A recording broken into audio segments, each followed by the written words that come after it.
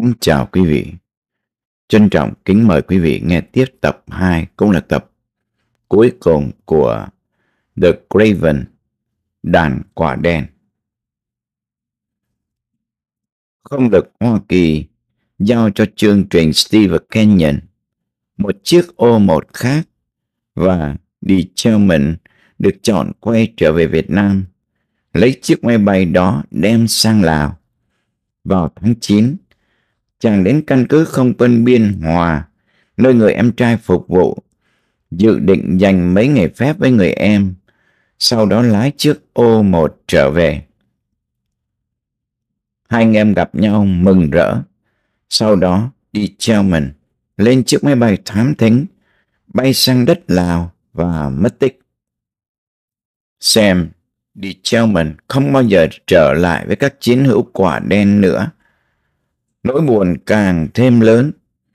Ít lâu sau, lúc được tin người em của Sam tử nạn, khi hai chiếc máy bay đụng nhau trên không phận Việt Nam. Vị tướng không quân trả một giá đắt khủng khiếp khi muốn hai người con trai noi gương của mình. Sự tổn thất lên cao, hai tuần lễ đầu rất nguy hiểm. Phi công bay những phi vụ thám thính dễ bị bắn rơi vì chưa am hiểu tình hình địa thế trên đất Lào. Những người qua khỏi sẽ phải bay hết trận này đến trận khác cho đến khi trở nên những phi công tài ba lỗi lạc nhất trên thế giới. Trong chương trình Steve và Kenyon cũng không có chuyện hết kỳ hạn, nghỉ ngơi và giải trí bên Hồng Kông hoặc ở Úc. Không có dấu hiệu chiến tranh sẽ chấm dứt. Những phi công người mèo nói rất thường tình, bay cho đến chết. Trong những phi công người mèo, một người nổi bật lên, đó là Lee Lu, anh em họ của Vang Pao, làm nghề dạy học ở Long Tiên trước khi học bay.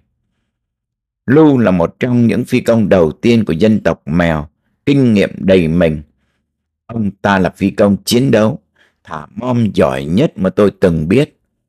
Quả đen John Mansur nói thêm, kể cả người Hoa Kỳ hay mọi quốc tịch, là một người thầm lặng, không có phi vụ nào quá nguy hiểm cũng như không thời tiết nào quá xấu đối với anh ta. Trung tá Howard Hartley của Air Commando hàng không cảm tử nói về Lee Lu như sau. Anh ta là một trong những người can đảm nhất mà tôi được biết. Một phi công tài ba xuất chúng. Nhiều phi vụ nổi tiếng làm các phi công Hoa Kỳ mắc cỡ.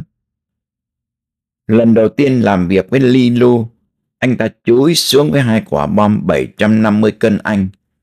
Ark Cornelius nói thêm rằng và anh ta xuống đất thấp, không thể nào trật mục tiêu được. Khó có thể tin được. Sau đó, Cornelius bay đi vạn tường để được gặp Li Lu. Một lần bị bắn rơi trên cánh đồng chum, rồi được một trực thăng H-34 của Air America cứu thoát. Các quả đen rất thích làm việc với Li Lu, còn hơn với các phi công Hoa Kỳ khác. John Mansur có lần khám phá được một ổ súng cao xạ và điều động hai chiếc Phantom F-4C của không lực Hoa Kỳ đánh không xong cho đến khi Lee Lu bay vào vùng. Mấy chiếc F-4 thả bom trên một độ quá cao nên không trúng cho đến khi hết bom hỏa tiễn. Lu nói với Mansur, để đó cho tôi. Chẳng quả đen này vẫn còn do dự, không muốn chiếc máy bay chậm T-28 làm mồi cho phòng không địch. Nhưng Ly Lu vẫn cương quyết. Để tôi làm, không có gì khó khăn hết đâu. Biết là không ngăn được, Mansur ra lệnh cho hai chiếc Phantom lên cao. Coi một phi công chiến đấu thứ thiệt đánh đấm. Lu bay lên cao, lấy hướng súng rồi đâm thẳng xuống, nhẹ tay thả một quả 500 cân anh. Cây phòng không biến mất ngay lập tức trên mặt đất.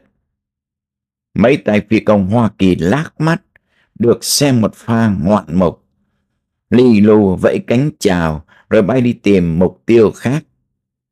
Một phi công F4 hỏi Mensur, Ê, quạ đen, hay nào vậy? Sau lần rớt máy bay thứ hai, Tom Sira được thuyên chuyển đến cố đô Long Prabang, một nơi tương đối yên tĩnh. Chàng đến thay cho Marlin Seaward chỉ còn một tuần nữa là hết nhiệm kỳ. Hai người bay về hướng Bắc. Đường 19 phát xuất từ Điện Biên Phủ. Sierra ngồi đằng sau. Seaward ngồi trước lái máy bay. Khi bay ngang qua một rặng núi cao, một viên đạn xuyên qua thân máy bay, trúng tay phải của Seaward và tiếp tục đi vào ngực.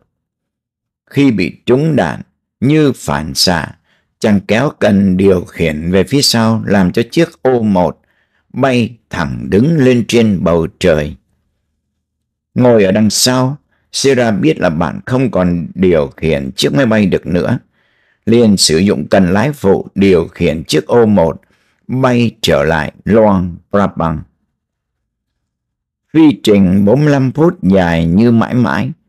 Sira gọi Cricket yêu cầu chuẩn bị máy bay tàn thương. Khi đáp xuống, Sigward ngồi gục phía trước, một chiếc C-123 máy nổ sẵn, chờ đưa Sigward vào bệnh viện ở Udon cấp cứu.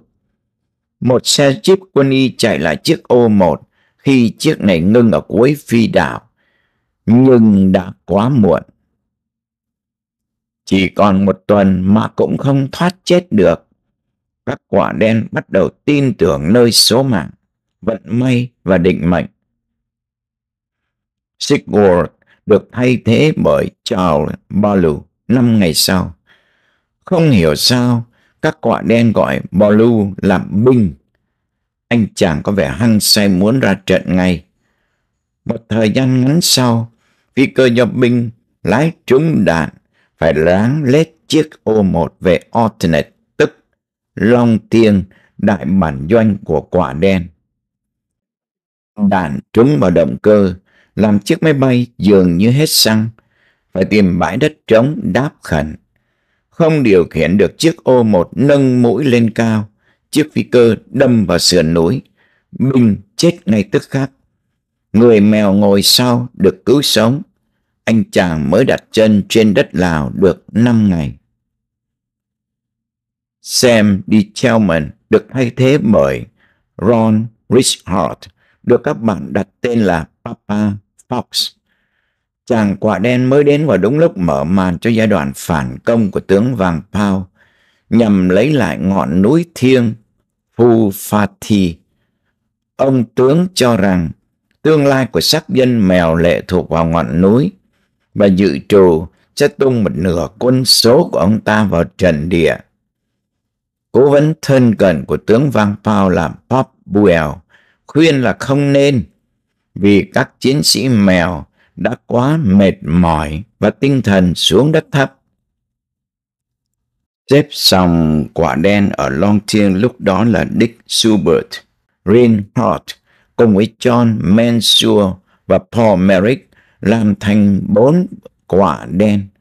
Trách nhiệm bao gồm trong trận tái chiếm Phu Fati được giao cho Reinhardt cuộc hành quân mang tên là Pig Fat, tức mỡ heo. Quân mèo phát xuất từ Na Khang, vị trí 36, di chuyển đến vị trí tấn công. Các phi tuần phản lực dội bom liên tục trên vị trí địch, nhưng không ăn thua. Quân mèo đem pháo binh vào vị trí và chuẩn bị một trận đánh phối hợp bằng không vận và du kích nhưng bị mưa pháo bằng súng cối. Mặc dù quân địch không quá 300, ẩn sâu dưới hầm khi phản lực cơ ném bom và trồi lên đẩy lui nhiều đợt xung phong của quân mèo. Linderhart điều động hơn 1.000 phi vụ của Hoa Kỳ, Lào và mèo trong một tháng bay 280 giờ. Nhiều hôm phải ngồi hơn 14 tiếng trong buồng lái. Các phi tuần oanh kích không ngừng, Đôi lúc có đến 6 vi tuần trên mục tiêu đợi đến phiên ném bom. Hai bên cửa sổ buồng lái chiếc ô một đầy nét bút chỉ mỡ. Rinderhart dùng để theo dõi trận không kích. Đến khi hết xăng, chàng bay về căn cứ, tiếp tay nhân viên bơm xăng, gắn hỏa tiễn vào máy bay để bay trở lại chiến trường thật nhanh. Bắc Việt vẫn giữ vững ngọn núi. Sự tổn thất của quân mèo gia tăng. Không quân cũng vậy. Gặp ngày xui, trong vòng 4 tiếng đồng hồ, một phản lực cơ Phantom F4 đâm thẳng vào sườn núi với một góc độ 45 độ. Một Sky Raider trúng đạn phòng không rớt, một trực thăng đến cứu cũng bị bắn hạ luôn. Hôm khác, hai chiếc thất F-105 và một trực thăng bị bắn rơi. Rinderhart làm việc với các phi tuần oanh kích cho đến khi gần hết xăng mới bay trở lại căn cứ. Có hôm, nhân viên dưới đất phải đẩy chiếc ô một hết xăng đến trạm bơm xăng.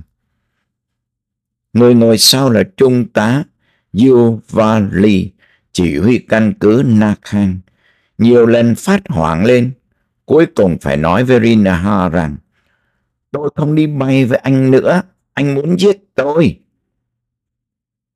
Đến cuối tháng, Fox, tức Rina được nghỉ hai ngày trong căn cứ Udon. Tại câu lạc bộ Officer của sĩ quan, quả đen không bao giờ phải trả tiền.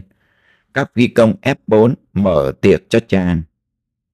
Papa Fox đi giày da cá sấu, quần da cá mập, áo màu mè Philippines. Một vị đại tá trong câu lạc bộ thấy gai mắt ra lệnh tống cổ tên Marco Philippines ra khỏi câu lạc bộ. Một người khác liền ghé tai ông ta nói nhỏ, nó là quả đen đấy. Vị đại tá ầm ừ rồi lờ đi. Ngày hôm sau, chiến trường sôi động. Papa Fox được lệnh trở về ngay lập tức. Vẫn trong bộ quần áo Marco Philippines, Rina Hart leo lên chiếc ô một bay trở lại Long Tiền. Chàng ghé Na Khang đón người ngồi sau. Không ai dám đi bay với chàng ngoại trừ một người bị chỉ định. Hai người bay về hướng Bắc gần biên giới tàu tìm vị trí đặt súng của địch, sau đó bay về. Lúc bay ngang qua một rặng núi, phi cơ trúng đạn nơi động cơ và máy ngừng chạy. Người ngồi sau sợ hãi, kinh hoàng, trong khi Papa Fox nhìn xuống tìm bãi đất trống để đáp. Nhìn thấy hai thừa ruộng nhỏ, chàng gọi Cricket báo cáo khẩn rồi lấy hướng xuống. Cả hai đều sống sót. Người mèo nhảy lên ôm cổ Papa Fox hôn và nói Ông là số một, ông là ông Phật. Hai người bị lính bộ binh bắt Việt săn đuổi chạy, chối chết, lẩn vào đám cỏ tranh, loại cỏ voi cao hơn đầu người. Lúc gần kiệt sức thì được một trực thăng của Air America cứu thoát. Papa Fox nốc một hơi hai bi đông nước. Một phi công hỏi, anh có sao không? Are you okay? Anh chàng trả lời, vâng, cảm ơn. Yeah, thanks. Về đến nơi trú ngụ của các quả đen, Papa Fox định ngồi xuống viết về kinh nghiệm của mình. Bỗng dưng thấy tay chân phát run, cầm bút không được. Anh chàng phải cầm chai rượu lên tu. Hai quả đen khác không biết chuyện gì. Nên hỏi, đã trễ rồi, ăn gì chưa? Chàng trả lời, chắc vậy, rồi lặng lẽ vào bếp nấu cơm. Vào lễ tạ ơn Thanksgiving 1968, quân mèo vẫn chưa lấy lại được Phu Pha Thi hoặc những rặng núi thấp hơn ở xung quanh. May mắn là những gì bí mật không biết trước được. Nhiều tay kinh nghiệm gần hết nhiệm kỳ vẫn rụng như thường. Người khác thoát chết trong đường tơ kẻ tóc. John Mansure bỗng dưng cảm thấy hơi khác thường. Có lẽ bắt đầu biết sợ tử thần hay có điểm gì sợ hãi bên trong làm cho chàng quyết định đổi nón bay. Trong một phi vụ thám thính hồ Roadrunner để quan sát sứ mạng văn hóa của người Tàu ở Khang Khay, CIA được báo cho biết rằng địch đã đem súng đại bác cỡ lớn vào trong làng và sẽ di chuyển đến vị trí khi đêm xuống. Mensur bay thật thấp để tránh những ổ phòng không 37 ly. Một viên đạn bay qua cửa sổ, trúng vào nón bay của chàng. Không còn nhìn thấy gì trước mắt. Thoạt tiên, Mensur tưởng mình bị trúng vào mắt.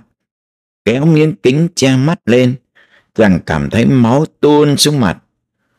Chúa ơi, tôi bị mù. Theo tâm linh, chàng kéo cần lái cho máy bay lên cao, mặc dù biết sẽ là mục tiêu ngon lành cho các loại súng của địch. Cố gắng chống lại hải hùng, tử thần, Mensua gọi Air America cầu cứu và nói rằng đã bị trúng đạn và không còn nhìn được nữa. Ngay tức khác, một chiếc máy bay khác bay đến gần Mensua cũng với giọng rất bình tĩnh. Chào quả đen, coi bộ ông bạn gặp chuyện rắc rối thứ thiệt rồi đó. Sau đó, người phi công bạn chậm rãi hướng dẫn chiếc O một lâm nạn ra khỏi vùng nguy hiểm và hướng về Long Tiên, Alternate. Rẽ phải, thêm chút nữa, đẩy cần lái về phía trước. Nhẹ thôi, nhẹ thôi. Rồi, xong ngày. Khi đến phi đạo, Mensur ráng chịu đau, mở khẽ được một mắt và dưới sự hướng dẫn của ông bạn quý hóa cùng nhân viên dưới đất, chàng đáp xuống an toàn.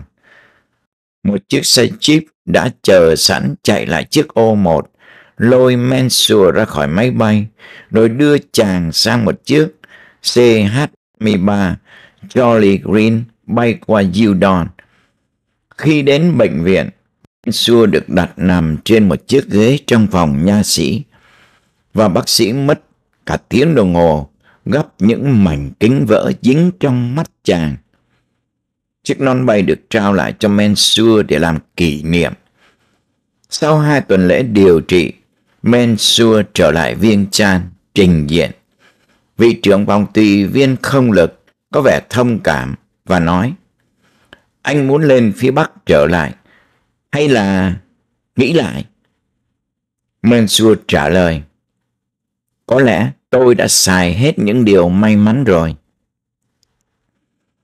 Sau nhiều nỗ lực thất bại trong trận phản công tái chiếm ngọn núi Thiên Phu Pha Thi, quân mèo bị tổn thất nặng và tướng Vang Pao đành phải bỏ ý định. Sáu ngàn người mèo đã được di tản về vùng an ninh vào ngày lễ Noel 1968, Bắc Việt đưa ba tiểu đoàn mới vào càn quét những quân còn lại của tướng Vang Pao. Quân mèo phải lui về Na Khang. Tướng Vang Pao đã bỏ nhiều vốn vào việc tái chiếm ngọn núi thiêng, làm thiệt hại nhiều nhân mạng của thuộc cấp. Cuộc bại trận làm tinh thần dân mèo xuống dốc. Riêng tướng Vang Pao rơi vào tình trạng khủng hoảng tâm lý. Bob Buell, cố vấn thân cận của tướng Vang Pao lái xe từ Sam Thong đến gặp tướng Vang Pao tại Long Tiên. Bình thường, ông ta được chào đón niềm nở bởi các sĩ quan và các bô lão người mèo. Lần này, chỉ có mình Vang Pao trong bộ quần áo luộm thuộm. Mọi người đâu cả rồi? Pop đặt câu hỏi ngay khi thấy ông tướng. Họ sợ phải đến đây. Họ sợ gặp tôi. Tôi không còn mặt mũi nào đối với dân tộc, với thế giới nữa. Pop cố gắng an ủi những chiến sĩ can đảm, những người trung thành, thân tín của Vang Pao giờ đây đã mất. Đạo quân của ông ta giờ chỉ còn lại những người lính 12 tuổi. Nhiều chiến sĩ cuộc đời sống quá ngắn để biết sợ. Tôi là tướng người mèo Vang Pao. Quốc vương Lào tin tưởng nơi tôi. Hoàng tử Suvarna Phuma tin tôi. Họ công nhận tôi, một người mèo quê mùa vào làm việc trong ủy ban cố vấn của nhà vua. Bây giờ tôi là kẻ bại trận. Tôi không còn là một danh tướng mèo nữa. Lần đầu tiên trong cuộc đời, kể từ khi khôn lớn, tướng Vang Pao khóc. Chương 6 Sức mạnh của không quân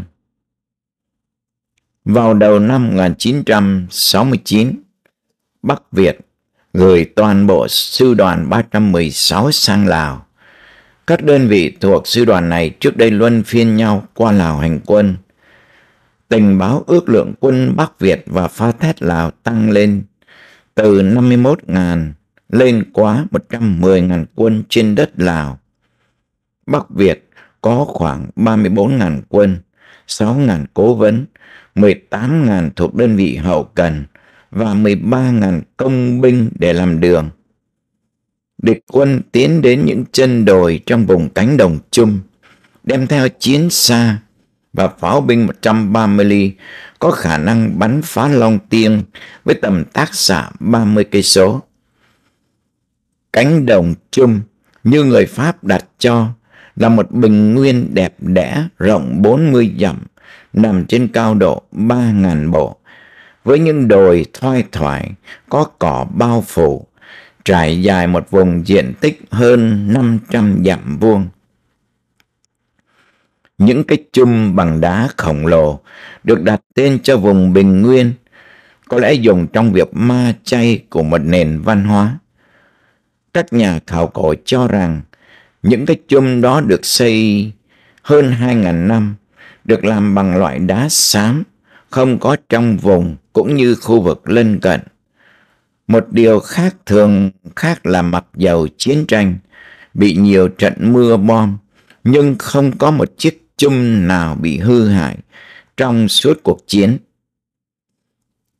Đầu tháng Giêng, Dick Schubert điều khiển một trận không tập sát bìa cánh đồng chung. Từ trên cao nhìn xuống, Schubert thấy rõ ràng hệ thống hầm hố mới đào của địch. Nhiều hầm lớn chứa đạn pháo binh, hỏa tiễn 122 ly. Trong lúc các phi tuần đánh bom trên các vị trí quân Bắc Việt, nhiều tiếng nổ phụ vang dội ở dưới đất. Suốt ngày đêm, cứ mỗi phút có 80 tiếng nổ do bom đánh trúng hầm đạn pháo binh. Nhờ vậy, Long Tiên tránh khỏi một trận tấn công của địch. Công giã tràng, quân Bắc Việt đổi hướng tấn công về vị trí 36 Na Khang và bao vây căn cứ này. Syria soạn thảo một kế hoạch phản công nhằm cắt đứt quân tiền phương Bắc với đơn vị hậu cần và đẩy lui địch về phía bắc Na Khang. Cuộc hành quân lấy tên là Đêm 80 Nighty Night, phát xuất từ vị trí 108 Bộ chỉ huy của phe trung lập tại Mương Xuôi, phía tây cánh đồng chung. Quân đội Hoa Kỳ đặt một sĩ quan làm việc với tướng Con Lê trung lập. Joe Bush một đại úy biệt động quân, trên giấy tờ là phụ tá phòng tùy viên quân lực của Bộ Ngoại giao Hoa Kỳ. Trong căn cứ này còn có một vị trí pháo binh Thái Lan. Để chuẩn bị cho trận phản công, hai chiếc lều lớn được dựng lên, chứa 50 nhân viên truyền tin, cơ khí, xe cơ giới và Air America đem vào bom đạn để dự trữ. Theo kế hoạch, quân trung lập sẽ phát xuất từ vị trí 108, phối hợp với quân du kích của tướng Văn Pao, tiến lên từ hướng Nam qua cánh đồng chung, đẩy lui quân Bắc Việt. Không yểm sẽ do các phi công Lào, Mèo và Thái Lan bay những chiếc T-28 cất cánh từ muông xuôi thay vì viêng tràn.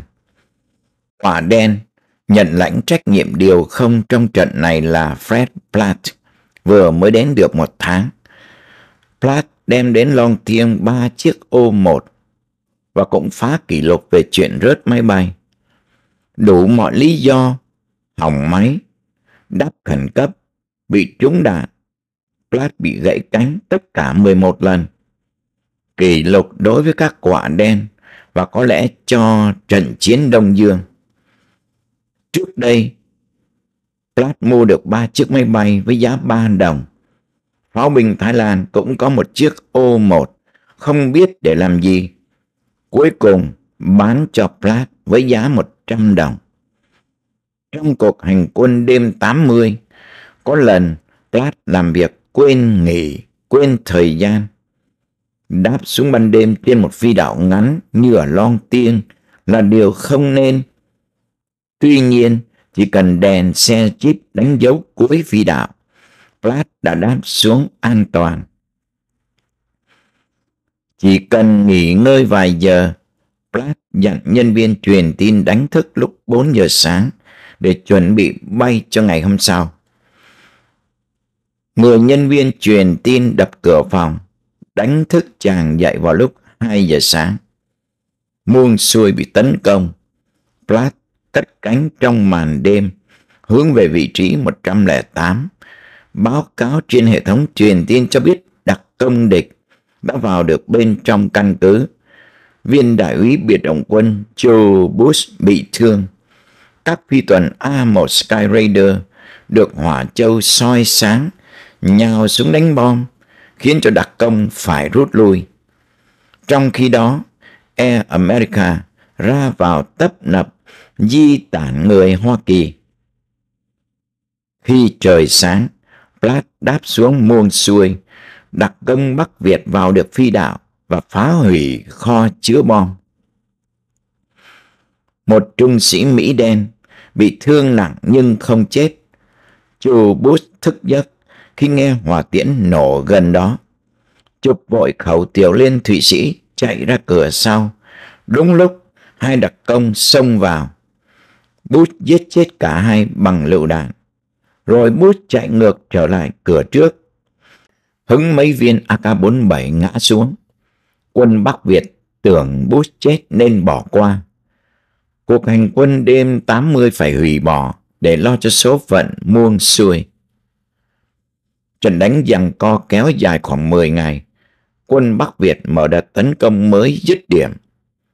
Chiều ngày 24 tháng 6, quân Bắc Việt lần đầu tiên sử dụng chiến xa lội nước PT-76 làm mũi dồi chính.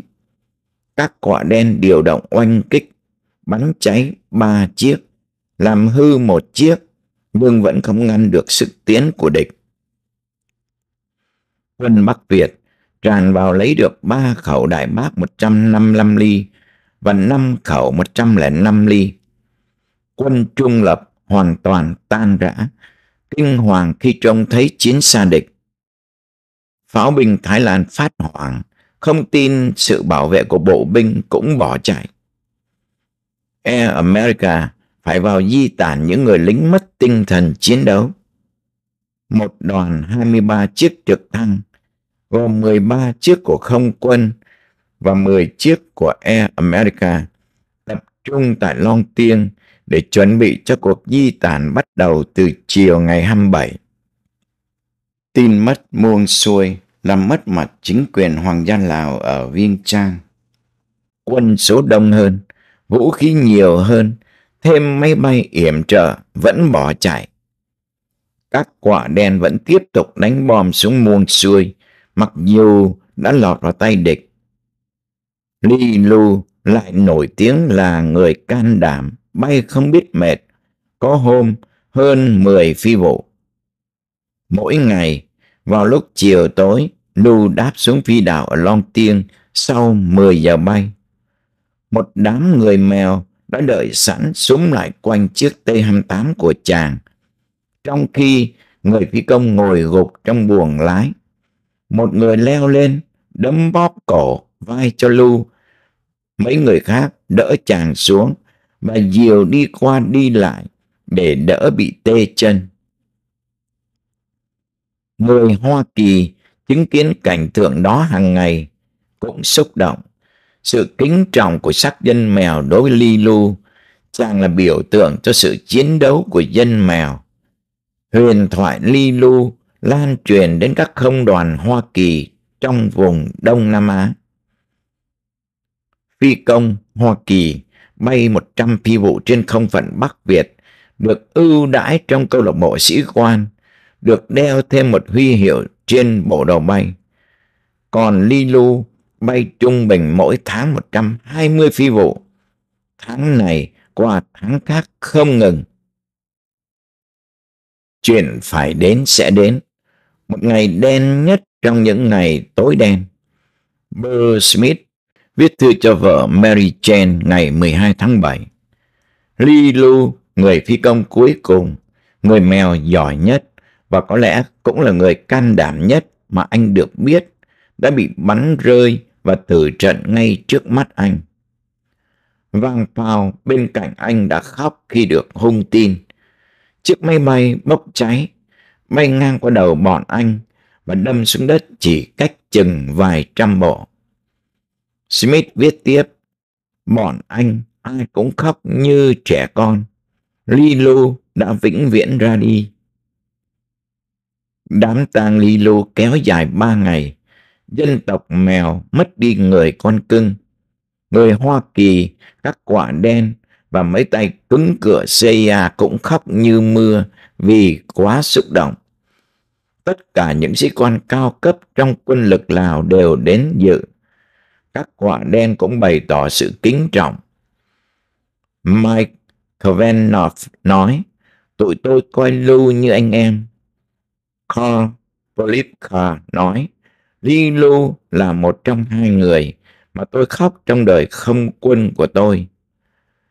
Đại tá Terrell gắn một huy chương của Hoa Kỳ cho Lu và nói vài câu ngắn chia buồn. Chương 7 Long Tiên bị bao vây Sau đám tang Lilu. lu, tinh thần tướng Văn Bao dường như suy sụp. Ông tướng uống rượu liên miên, ngày qua ngày. Đến cuối tháng 8 1969, ông ta quyết định mở đợt tấn công mới. Quân mèo vẫn cố thủ Long Tiên. Tướng Văn Bao tin rằng, mặc dầu với chiến thắng, quân Bắc Việt phải phân tán quân ra tại nhiều nơi để giữ đất. Vấn đề tiếp vận, liên lạc trở nên khó khăn. Lợi dụng những nhược điểm của địch, tướng Vang Pao phát họa một cuộc hành quân mới mang tên là Về bộ mặt About Face. Phát xuất từ bốn vị trí, các chiến sĩ mèo được trực thăng của Air America đưa vào vùng hành quân, được yểm trợ bởi quả đen và các chiến đấu cơ T-28 những đơn vị du kích Thái, mèo do tướng Van Pao chỉ huy sẽ đánh phá đường tiếp vận của địch ở phía sau. Đặc biệt, đường số 7 lên đến Bắc Việt Nam. Cùng lúc, các đơn vị Hoàng gia Lào được không lực Hoa Kỳ yểm trợ mạnh mẽ, đánh từ phía nam cánh đồng chung trở lên. Ngày xuất quân sẽ là ngày 15 tháng 8.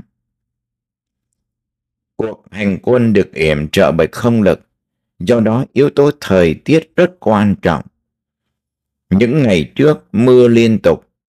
Sáng sớm ngày 15, Ho Polipka mở cửa sổ nhìn ra ngoài. Một luồng hơi lạnh thổi vào, bầu trời trong sáng như thủy tinh. Chàng khẽ lắc đầu, thời tiết thay đổi quá nhanh ngoài sự tiên đoán, rất chính xác như tướng Vang Pao đã báo trước. Ông này có thần giao cách cảm với ai đó. Thời tiết tốt như vậy trong vòng 8 tuần lễ kế tiếp không làm trở ngại cho vấn đề không yểm. Một lực lượng 6.000 quân Lào và du kích mèo bắt đầu tấn công. Được không quân yểm trợ tối đa, trung bình 150 phi vụ yểm trợ mỗi ngày. Quân Lào lấy lại được nhiều ngọn đồi trong những trận đánh đẫm máu. Lại một lần nữa, dường như tướng vang vao được ngồi trong lòng Thượng Đế. Một lần leo lên trực thăng, rảo mắt nhìn xung quanh. Tướng Vang Pao nói với phi hành đoàn.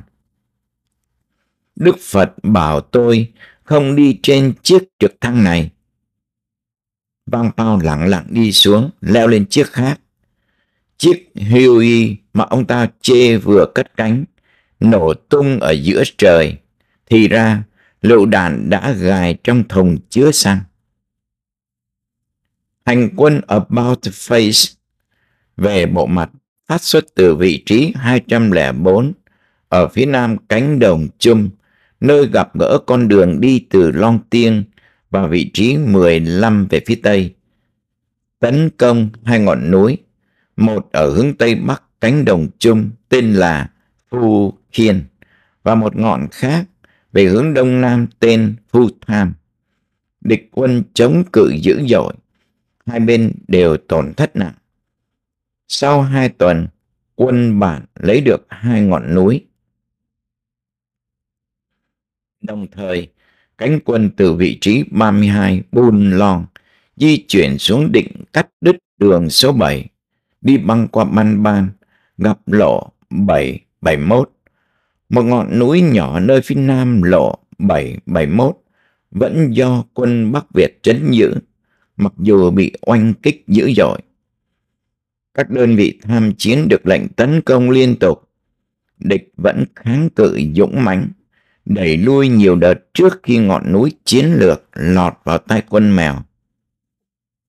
Với sự yểm trợ mạnh mẽ của không quân, quân đội Bắc Việt dường như bị bất ngờ phải rút ra khỏi cánh đồng chung. Cố vấn Trung Cộng phải cấp tốc di tản khỏi khang khay. CIA lấy được nhiều tài liệu trong bộ chỉ huy chất đầy một vận tải cơ C-123. Một sĩ quan Trung Cộng bị bắt. Nhân viên CIA muốn được thẩm vấn tù binh, nhưng đã trễ. Quân mèo đã cắt cổ viên sĩ quan người Tàu. Quân du kích mèo được trực thăng vận xuống đằng sau lưng địch, lập được nhiều chiến công. Cánh quân phát xuất từ vị trí 32, rải quân về phía tây đường số 7. Trong khi đó, Black Lion sư tử đen, chỉ huy đơn vị du kích lập tuyến phòng thủ trên đỉnh đồi Phu Nockcock, nhìn xuống con đường khúc khuỷu đi qua thung lũng Ban Ban. Đường số 7 bị cắt đứt, đường tiếp vận của quân Bắc Việt bị gián đoạn. Tuy nhiên, những ổ kháng cự vẫn còn hoạt động. Cánh đồng chung đã tương đối an toàn. Trong cuộc hành quân quy mô này, các quả đen lo không xuể, được tăng cường thêm thám thính cơ tối tân hơn của không lực Hoa Kỳ từ Thái Lan. Những chiếc này không rành địa thế, tốc độ phản lực và bay quá cao nên định mục tiêu không chính xác. Kết quả là nhiều trận oanh kích không phân biệt được bạn hay thù. Một lần điều động đánh bom lầm làm chết 20 quân bạn Polipka sau này gặp lại viên phi công chỉ điểm 7 trong căn cứ không quân Eklin. Ông ta không tỏ vẻ hối tiếc.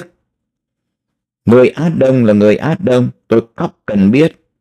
Tất cả đều là kẻ thù.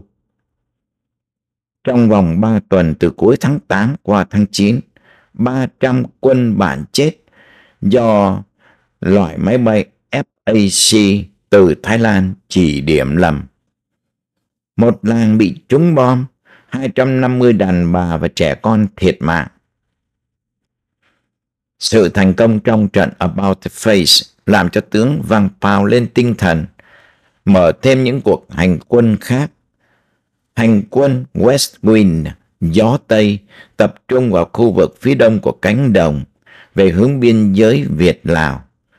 Hành quân North Wind, gió Bắc, tấn công nơi địch đóng quân ở phía bắc cố đô Loan Prapang về biên giới Tàu.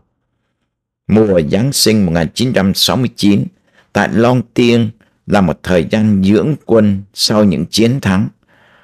Quân mèo lấy lại được tinh thần và tướng Vang Pao lấy lại được phong độ. Cuối năm 1969, quân Cộng sản mở đợt tấn công mới. Quân đội Bắc Việt đưa quân mới vào cùng với công binh làm đường. Lúc đó, không lực Hoa Kỳ dồn nỗ lực vào đường mòn Hồ Chí Minh. Quân Bắc Việt tiến quân nhanh, chiếm lại cánh đồng và những chiến xa, đại pháo bị mất trong cuộc hành quân trước đây. Đầu năm 1970, hàng ngàn thường dân sống trong vùng bị bao vây và một lần nữa phải di tản. Fred Platt bay bao vùng ngày 11 tháng Giêng. Trên chiếc ô-1 có thêm một quân nhân mèo. Thời tiết quá xấu, chàng gọi Cricket cho biết là sẽ bay dọc theo đường số 7, tìm những ổ súng lớn của địch. Fred Platt tìm thấy nhiều thùng nhiên liệu, địch mới chuyển vận đến từ đêm qua vẫn chưa được ngụy trang. Thay vì gọi oanh kích, Platt lấy góc độ bắn xuống một hỏa tiễn khói, nhắm vào mấy thùng dầu. Trong khi lao xuống, chàng nghe tiếng đạn phòng không 12 ly 7 và trông thấy những viên đạn lửa bay lên từ dưới đất. Một viên trúng vào động cơ, làm cho dầu phun ra và máy bay bốc cháy. Platt gọi Cricket.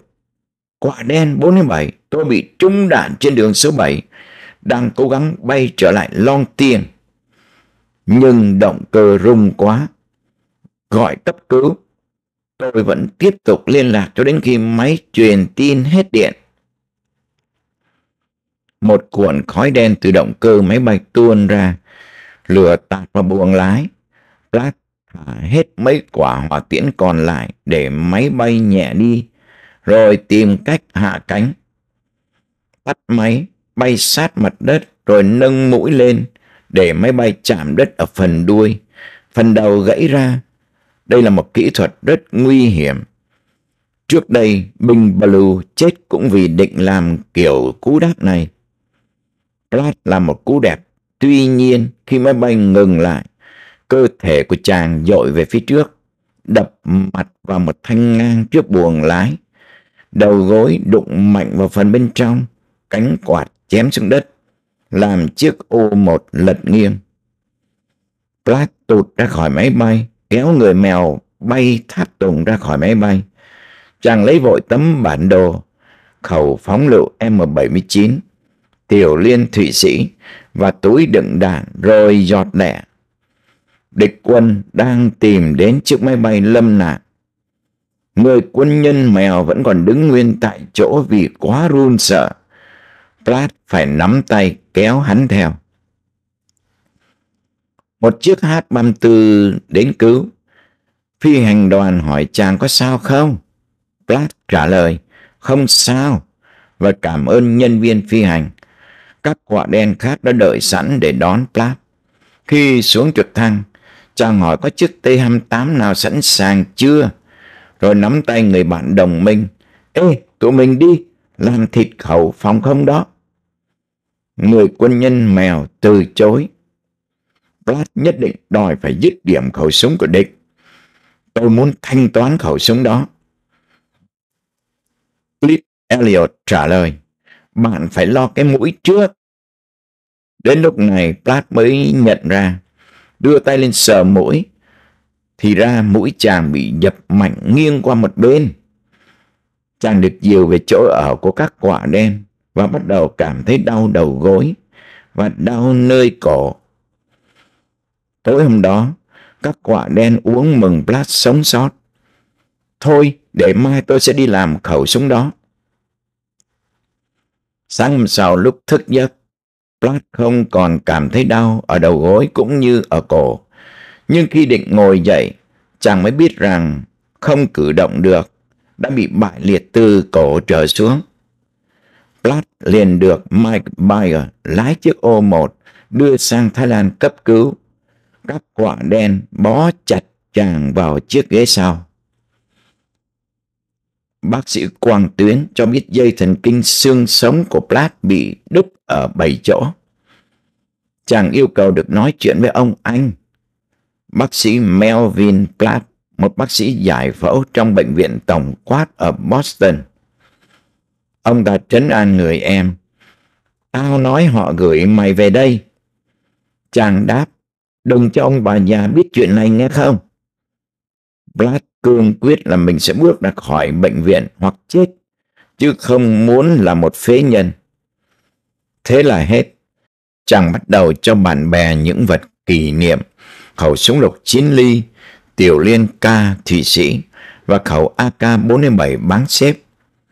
Bill Smith đến thăm, hai chàng quạ đen nhìn nhau lặng lẽ. Tôi có muốn trở về nhà trong trạng thái như thế này. Mẹ tôi có thể chấp nhận mất đi một người con. Tôi không thể nào quay trở về được. Rồi chàng nói tiếp. Nếu tôi không đi ra khỏi nơi đây được, giết tôi đi hay hơn. Đại sứ Godley được Kissinger cho biết được sử dụng B-52 một cách bí mật. Tên ngụy là Good Luck, cũng như những trận không tập B-52 bên Campuchia. Vị đại sứ nói, mình không nhận về việc sử dụng B-52. Tổng thống ưng thuận khi nào địch tiến qua khỏi môn xuôi. Quân Cộng sản tiến qua môn xuôi trong vòng 24 tiếng đồng hồ.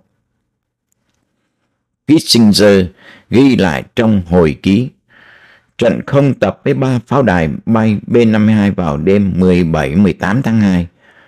Quân địch vẫn chưa chiếm được muôn xuôi trong ngày hôm đó. Khi tài liệu hết hạn bảo mật và hồi ký của Kissinger phát hành, B-52 vẫn được lệnh thi hành và đâu phải chỉ có ba chiếc như trong hồi ký đâu, mà 36 phi vụ B-52 thả tất cả là 1.078 tấn bom, theo tài liệu của không quân. Nhiều bản báo cáo từ thủ đô Washington trái ngược nhau về đủ chuyện. Tệ nhất là bản báo cáo không người Hoa Kỳ nào bên Lào tử trận trong những cuộc hành quân trên bộ. Trong cuốn hồi ký của Kissinger, Tổng thống Nixon có tiết lộ cho ông ta rằng cách chứng minh tốt nhất không có quân bộ Hoa Kỳ trên đất Lào là không có quân nhân nào tử trận trong các hoạt động quân sự. Không ai để ý chuyện B-52 thả bom bên Lào, nhưng họ lo cho sinh mạng người Hoa Kỳ bên đó. Rõ ràng là người Hoa Kỳ có để ý chuyện B-52 và Nixon cũng biết. Tuy nhiên, đó là theo hồi ký của Kissinger. Winston Lord, phụ tá đặc biệt của Kissinger, báo cáo có tổn thất về các toán biệt kích Hoa Kỳ trong chiến dịch Prairie Fire, cánh đồng lửa. Kissinger chối luôn. Những quân nhân tham dự các cuộc hành quân đặc biệt, biệt kích cũng không được liệt kê. Họ không đóng quân trên đất Lào. Nhân viên làm việc cho CIA cũng không tính vì họ bí mật. Các quả đen cũng không tính. Lý do kỹ thuật họ đóng bên Thái Lan. Air Commando không đoàn cảm tử và quân nhân làm việc dưới đất của không quân cũng không kể vì họ được coi như bí mật. Air America và Continental Air Services cũng không được tính vì họ làm việc với tư cách là thường dân. Nhiều phi vụ ngăn chặn trên đường số 7 do các quả đen điều động nhằm cắt đứt đường tiếp vận của địch. Đủ loại máy bay oanh tạc AC-47, AC-119 và AC-130 bay cả những phi vụ đêm đánh đoàn quân xa Bắc Việt. Địch bắt đầu dàn quân đe dọa Long Tiên. Tướng Vang Pao rải quân phòng thủ trên đỉnh những ngọn đồi để giữ căn cứ. Tuyến phòng thủ của quân mèo góc Tây Nam cánh đồng chung mang tên phòng tuyến Vang Pao. Phi đạo tại Som Thong bị tấn công dữ dội vào buổi sáng sớm ngày 18 tháng 3. Dân mèo chạy lên những ngọn đồi xung quanh. Hơn 42.000 người bỏ nhà cửa để tránh bom đạn. Người Hoa Kỳ và người bị thương đang điều trị trong bệnh viện được di tản về phía Nam. Quân Bắc Việt tràn vào phố, đốt phá dãy nhà làm việc, nơi trú ngụ, văn phòng cơ quan viện trợ giúp người lánh nạn của Hoa Kỳ. xem thong rơi vào tay địch. Phòng tuyến văng phao tan vỡ, quân mèo bỏ chạy, không còn quân bảo vệ Long Tiên. Thành phố bí mật rối loạn có thể mất trong vòng vài tiếng đồng hồ. Greg Morrison nói mọi người thức dậy vào buổi sáng đều nghĩ tốt hơn hết mình nên chuồn khỏi nơi đây. Nhóm đầu tiên được America di tản là 80 bệnh nhân nằm liệt giường trong bệnh viện ở Long Tiên bằng máy bay C-123.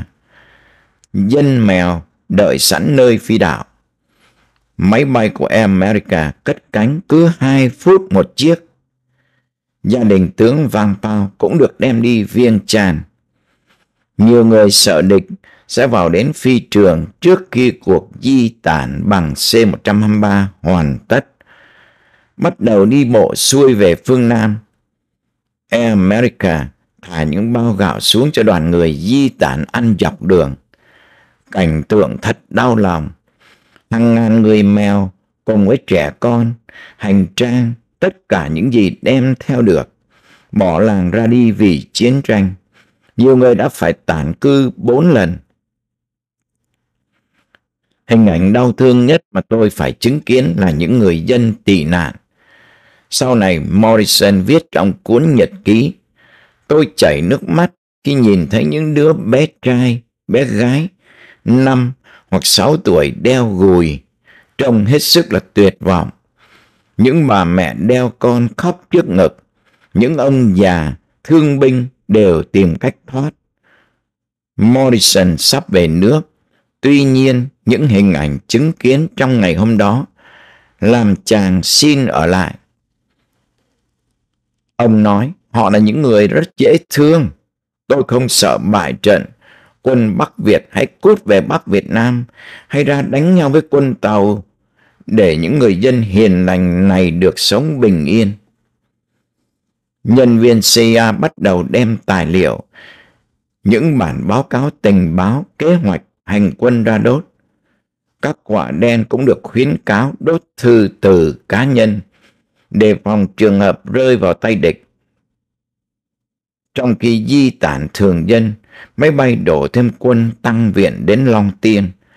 300 quân Thái Lan trong quân phục, nón sắt, súng đạn đầy đủ, được một máy bay không có phù hiệu đưa vào.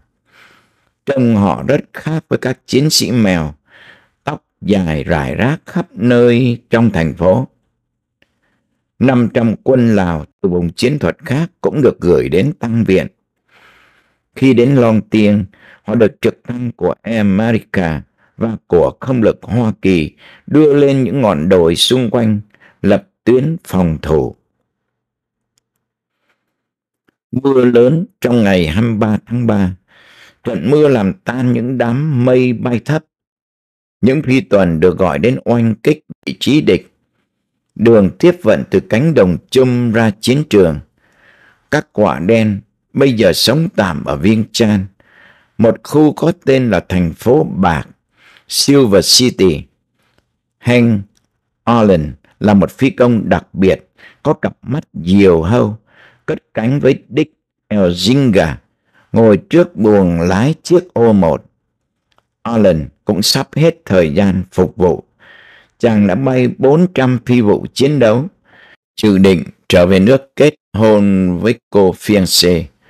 Elzinga mới đến Lào và đây là lần đầu tiên bay đến Long Liên, thành phố bí mật. Hôm đó trời nhiều mây, Allen báo cáo cho Cricket là chiếc O1 bị trục trặc kỹ thuật, phải đáp khẩn cấp. Đó là những lời cuối cùng của họ. Cả hai phi công và chiếc máy bay biến mất một cách bí mật, không tìm ra được dấu vết.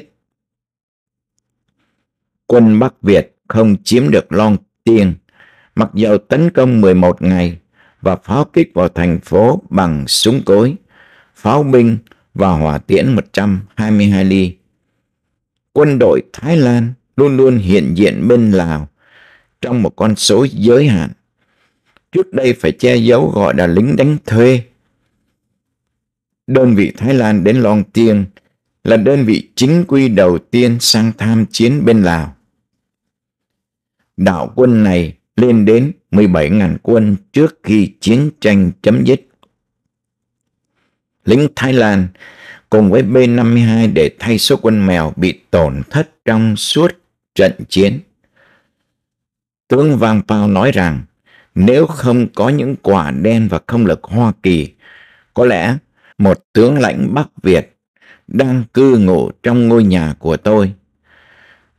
Sau khi quân Bắc Việt rút ra khỏi Long Tiên, quân mèo phản công chiếm lại Xem Thong, địch quân bị dội bom và pháo binh nện cho tan tành, rồi các cánh quân mèo tấn công lấy lại những ngọn đồi xung quanh.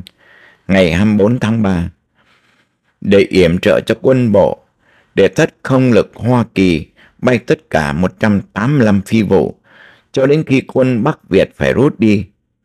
Không lực mất 3 chiếc T-28, hai chiếc U-1 và một U-17. Chàng phi công can trường Fred Platt bình phục sau khi tưởng đã bị bại liệt. Chàng trở về Hoa Kỳ và được ân thưởng ba chiến thương bội tinh, một ngôi sao bạc, ba huy chương danh dự và 26 huy chương của không quân trong một buổi lễ trước công chúng. Các quả đen khác bên Lào vẫn tiếp tục làm nhiệm vụ bay những phi vụ chiến đấu 12 tiếng đồng hồ mỗi ngày. Chương 8 Sự tổn thất Cộng sản mở trận tấn công mới trên đất Lào và Campuchia từ tháng 12 1971 và đầu năm 1972. Quân Bắc Việt và pha thét Lào chuyển quân từ cao nguyên Bolivan xuống đường 23, qua thung lũng tiến về Bắc Xe. Các quả đen tìm thấy nhiều đường mới rẽ ra từ đường mòn Hồ Chí Minh và nhiều đoàn quân xa chở nhiên liệu, đạn dược, di chuyển trên đường. Với những hoạt động ban ngày của địch, chắc rằng sắp có chuyện gì đó quan trọng sẽ xảy ra ở đâu đó. Thực sự đúng như vậy. Quân Bắc Việt chuyển quân đến vị trí, chuẩn bị cho trận tấn công mùa hè đỏ lửa trong miền Nam Việt Nam. Wilson dùng ống nhòm nhìn thấy bộ phận của dàn radar Fenson, dùng để hướng dẫn hỏa tiễn sang. Chàng báo cáo cho cơ quan CIA, rồi sẽ đến để thất không lực Hoa Kỳ không xác nhận sự hiện diện của hỏa tiễn Sam trên đường mòn mãi cho đến tháng 5. Quân Cộng sản không tấn công Bắc Xe mà chỉ gia tăng hoạt động xung quanh. Tháng 9 năm 1972, CIA phát họa hành quân Black Lion 4, Hắc Sư 4, định đưa 2.000 quân vào vùng xung quanh Saravan không quân sẽ cung cấp trực thăng H-53, nhưng bỏ dở sau ngày đầu của cuộc hành quân. Lý do bãi đáp không được an ninh. Air America đến thay, kết quả một trực thăng bị hạ cùng với viên cố vấn CIA. Quân sử dụng trong hành quân thuộc nhiều bộ lạc thiểu số và lính đánh thuê Thái Lan do nhân viên CIA chỉ huy. Đám quân này thay đổi vị trí đóng quân mỗi đêm để tránh pháo của địch.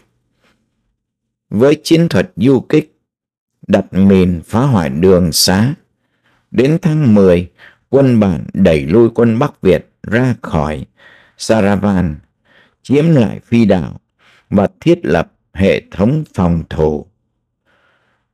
Hai tháng sau trận Saravan, một ngàn lính đánh thuê Thái Lan được không vận vào cao nguyên Bolivar để thiết lập căn cứ hỏa lực pháo binh. Cuộc tấn công này đe dọa đường tiếp vận quan trọng của địch. Quân Bắc Việt trả đũa đem thêm quân vào chiến trường trong vùng xung quanh Saravan. Bắc Son có đến ba sư đoàn chính quy Bắc Việt. Ryu Hatch nói, Mình mở ba mặt trận, bây giờ chuẩn bị đỡ. Trong đợt oanh kích thứ hai tại Bắc Son, Milestone Stern bị trúng đạn phòng không, động cơ ngừng chạy phải đáp xuống rìa Bolovan Bị thương nơi bàn chân không thể bay được nữa. Chàng được trả về lại Hoa Kỳ. Một trận không tập nặng nề ngoài miền Bắc Việt Nam gọi là Christmas Bombing, trận không tập Giáng sinh. Những mục tiêu quân sự tại Hà Nội và Hải Phòng bị ném bom dữ dội từ ngày 18 tháng 12. Sau khi Bắc Việt bỏ chuyện thương thuyết ở Paris, các phi vụ thả bom tập trung ngoài Bắc Việt Nam, các quả đen chỉ bay những phi vụ thám thính trên đường mòn Hồ Chí Minh để đo lường mức độ xâm nhập của quân Bắc Việt. Đến mùa mưa 1972, bắt đầu từ tháng 8, tướng Văn Pao mở đợt tấn công vào vùng Đông Bắc cánh đồng chung dựa vào các trực thăng của không lực Hoa Kỳ để chuyển quân. Theo kế hoạch, sẽ đưa 2.400 quân vào vùng phía Bắc. Sau lưng địch, nhưng phải hủy bỏ vì thời tiết xấu và không lực đòi hỏi những chiếc trực thăng CH-53 phải có máy bay chiến đấu hộ tống. Chỉ có một nửa quân số được đưa vào vùng hành quân, chịu không nổi hỏa lực pháo binh chiến xa của địch. Quân bản tan hàng, từng toán nhỏ tìm đường thoát về. Có toán sau nhiều tuần lễ mới về tới nơi an toàn. Trận đánh lớn cuối cùng được trực thăng Hoa Kỳ yểm trợ bắt đầu ngày 20 tháng Giêng 73. Bảy chiếc CH-53 và hai chiếc trực thăng Chinook của America đưa một ngàn quân vào mở đường từ Viên Chan đến Loang Prabang. Bốn trực thăng trúng đạn, tuy nhiên thành công trước khi lệnh ngưng bắn hiệu lực 29 tháng 3 73. Chương 9 Hay đoàn kết Những chiếc ô một cuối cùng rời đất Lào, cất cánh từ Viên Chan bốn chiếc một. Họ bay theo đội hình, người đã khuất, missing man. Thường bay trên đầu đám tang nhà binh. Một chiếc sẽ bỏ đội hình bay vút lên cao, biểu lộ sự luyến tiếc. Đó là một truy điệu. Jack Shaw nói thêm, tặng Han và những quả đen đã hy sinh cho những người Lào ở lại và cho những người mèo mà chúng ta đã bỏ rơi, phản bội, cho những tù binh chiến tranh bị bỏ lại trên xứ người. Đó là điều chúng tôi muốn nói rằng chúng tôi được lệnh phải ra đi, nhưng chúng tôi sẽ không bao giờ quên. Christopher Robbins